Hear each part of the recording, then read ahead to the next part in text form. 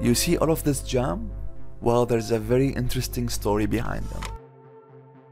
21 years ago, psychologists Sheena Iyengar and Mark Lepper from Columbia and Stanford University, they published a study about jams.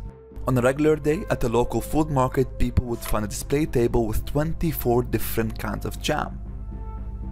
Then, on another day at the same food market, people were giving only 6 different types of jam choices. Guess which display table led to more sales? Yes, it was the one with fewer options.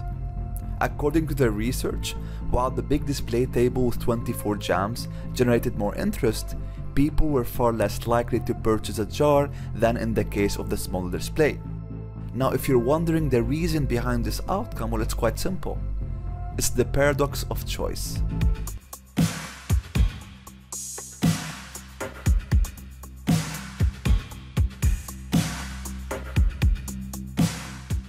American psychologist Barry Schwartz, he explained this puzzle in his book Paradox of Choice Why More is Less.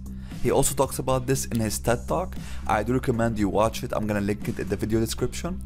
He states that having too many choices with its overwhelming choice overload might give us anxiety, stress, and depression instead of happiness and freedom. This happens because having too many choices makes us feel that we may be missing out on something you start questioning yourself, did I make the right choice?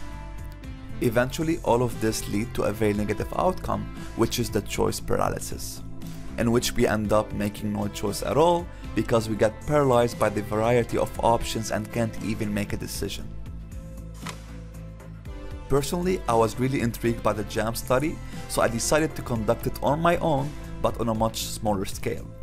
So, I sent a survey to 20 random people and asked them, if you had the choice, from which table would you rather buy a jar of jam?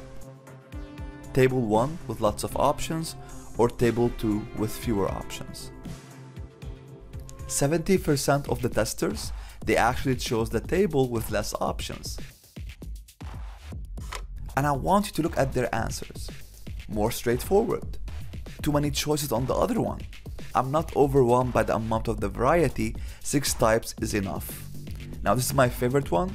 We all love lots of choices and options, however, it's easier to actually decide when there are fewer choices.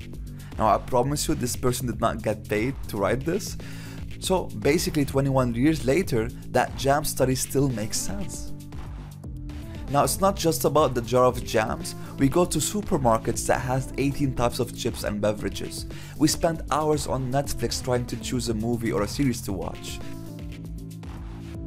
We go to clothing stores with hundreds of options. We go to restaurants where we spend a long time trying to figure out what to order, and the list goes on and on and on. So, how can we address that? How can we make sure that we don't get overwhelmed when we're making a decision?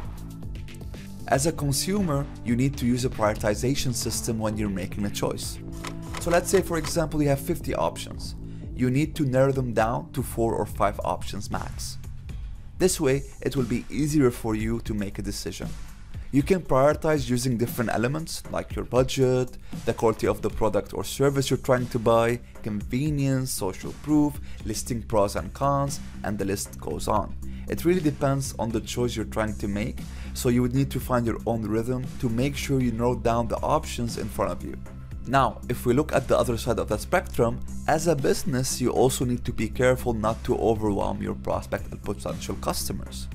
That's why Mr. Schwartz, he discovered a so-called sweet spot. This is the point where the number of choices is most effective on our subjective well-being. This is the point where we offer not too little, but at the same time not too much.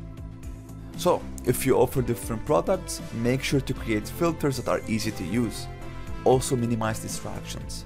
A website with an overload of menus and buttons will lead to more psychological distress and confusion. The paradox of choice is a really interesting topic and deserves a longer video, but if I want to summarize it in three words, well, less is more.